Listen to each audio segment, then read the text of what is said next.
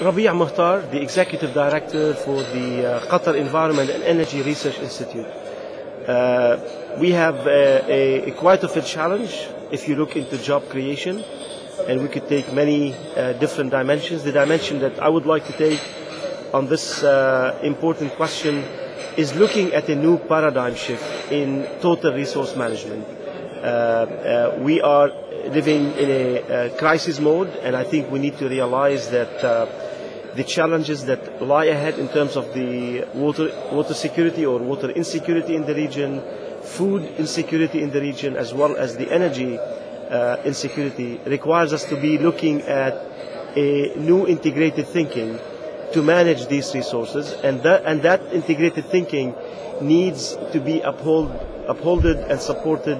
uh, by new new breed of uh, uh, talented young people that uh, in today's curriculum is not providing them with the right tools to manage these complex systems. So I think if we look at the new job creation in the future, I, I would uh, would like to emphasize the role of sustainability, the role of integrated thinkers that are uh, so much needed that will allow for a better uh, resource utilization, for a better integrated thinking uh, and sustaining uh, the, the future of this region.